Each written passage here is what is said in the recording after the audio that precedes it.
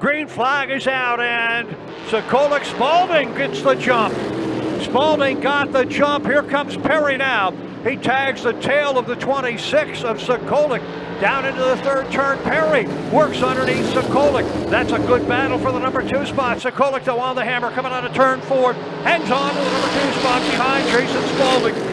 Hanging on to the lead, Spalding in the 23, the 26 of Sokolik now down to the inside off that fourth corner, making a run on the low side, has a wheel in there.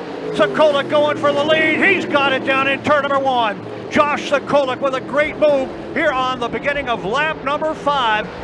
Coming in second right now, Jason Spalding. It is still Kyle Perry in third. Checkered flag, the win. He just coasted across the line. The number 26 of Josh Sokolik, 23 Jason Spalding. All right, we've got our race winner down here. How about a great hand for the winner of the 350 Super Modifieds, Josh Sokolik. There's Josh, got the win. Dad John is down there with him. Josh Sokolik, your feature winner tonight in the 350 Super Modifieds.